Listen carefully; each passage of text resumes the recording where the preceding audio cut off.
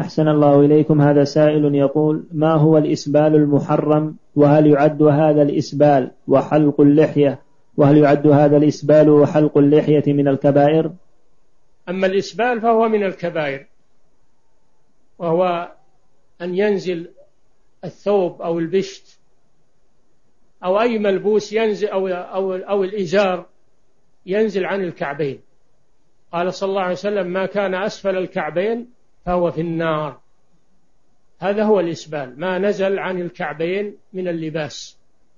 هو في النار. ولباس المسلم من الكعبين فما فوق إلى نصف الساق. هذا لباس المسلم. وما نزل عن الكعبين فهو الإسبال المحرم وهو كبيرة من كبائر الذنوب. ولا يجوز أن يتخذ المسبل إماما يصلي بالناس وهو مسبل حتى يتوب إلى الله سبحانه وتعالى.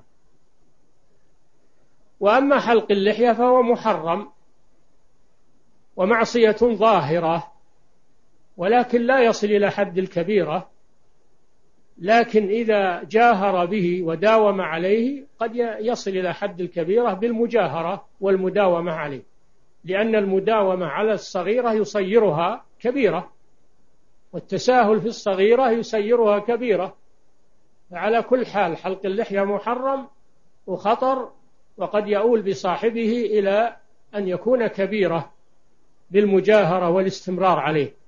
فالواجب التوبة إلى الله وترك اللحية كما أمر النبي صلى الله عليه وسلم.